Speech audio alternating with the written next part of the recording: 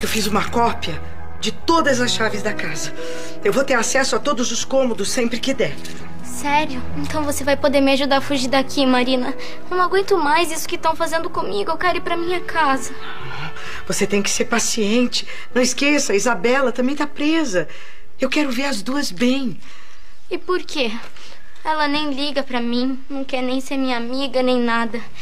E olha, depois que ela entrou na minha vida, só tem coisa ruim acontecendo comigo. Manu. Me dá um motivo pra poder ficar aqui. Ela não é só sua sósia. Isabela é sua irmã gêmea.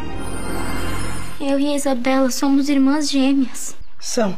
Entendeu agora? Porque a gente tem que agir com calma. Seja lá o que a gente for fazer.